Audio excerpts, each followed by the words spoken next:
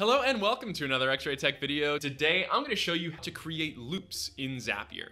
Using loops will let you perform the same action several times for each item in a dataset. A loop will let you do things like send an email to every address in a list or update your inventory database for each line item in a receipt. If you'd like more automation tutorials and deep dives like this, be sure to subscribe to our channel and like this video. Now let's get to it. First, you'll need to have a trigger step to grab some data to work with. Our trigger watches an Airtable base for new records, and we've made sure to include some arrays and lists that we can build a loop with. To add a loop to your Zap, just add a new step and search for Looping by Zapier. Under the Events menu, you'll see three options. You can create a loop from line items, from numbers, or from text. Each of these options works in largely the same way, but I'll take you through each one individually. To create a loop from line items, you need to have a piece of data that's already subdivided into several components. In other words, your data will have to be formatted like an array. In our trigger, we're grabbing each new entry to this Airtable base, which contains some linked record fields. In Airtable, a linked record field with multiple entries is treated as an array, so this will be perfect for our example. We'll enter one of the linked fields, fruit names, into the second field under values to loop. In the first field, enter a label that you want to use for this data. We'll call it, no surprise, fruit name. Next, choose whether or not you want to trim whitespace. This defaults to true, and you usually want to leave it as is. In the loop iteration counter field, you can pick where the loop will start counting.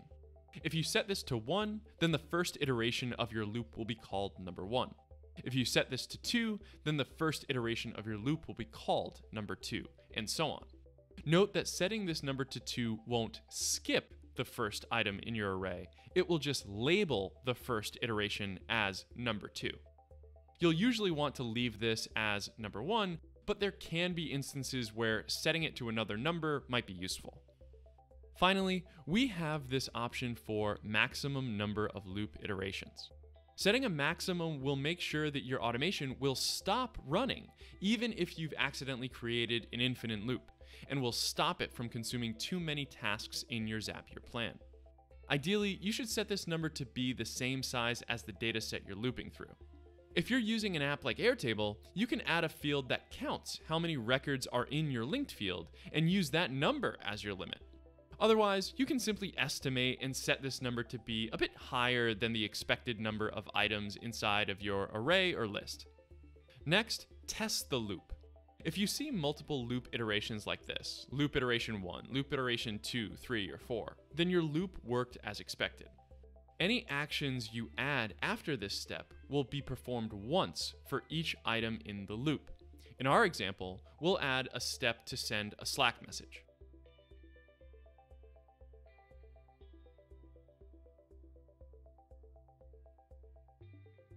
This message will show us the iterator number, then the name of each item being processed in each loop. We'll get one Slack message for each item in the array, we should see four messages when the automation runs. However, when we test this step, we only see one message.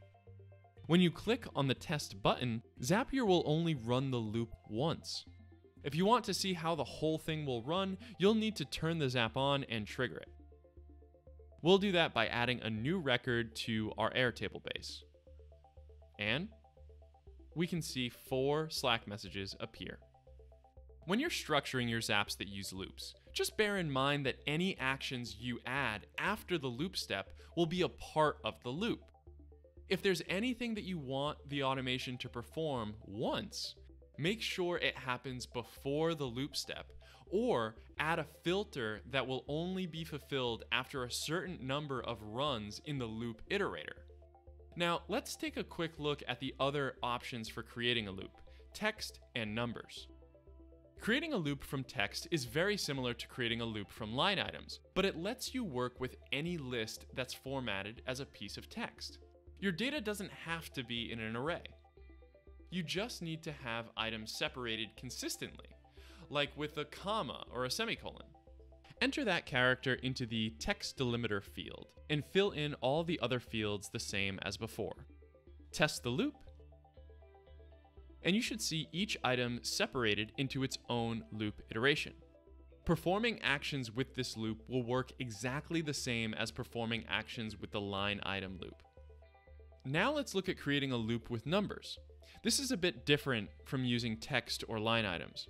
Instead of always looping through every item in a dataset, a numbers loop will simply run as many times as you specify. With a numbers loop, you have precise control over how the loop runs. You can choose the iteration number that it starts and ends at, and how much the iteration number increases with each run. For instance, you could have your iterator start at 2, go up by 3 each time, up to a limit of 11. We'll set up our loop with those numbers, then edit our Slack message so it will just tell us the current iterator number.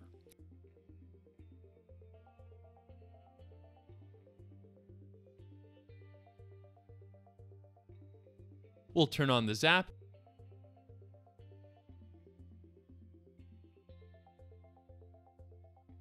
and add a new record to Airtable to trigger it.